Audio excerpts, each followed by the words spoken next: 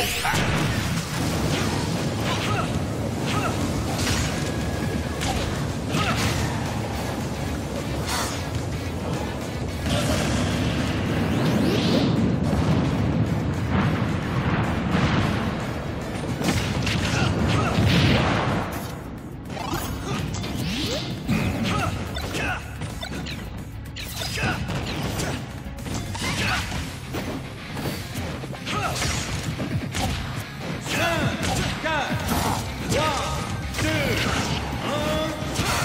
play.